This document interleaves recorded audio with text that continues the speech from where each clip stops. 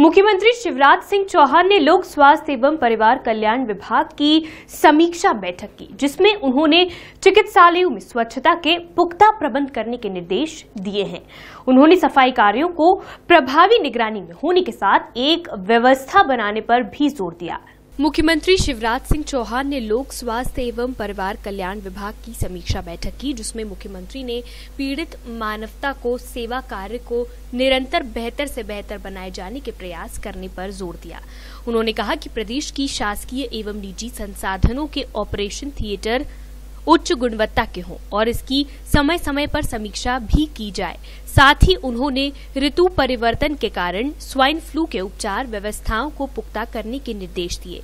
बैठक में बताया गया कि राज्य में खुली सिगरेट की बिक्री प्रतिबंधित करने की पहल की जा रही है।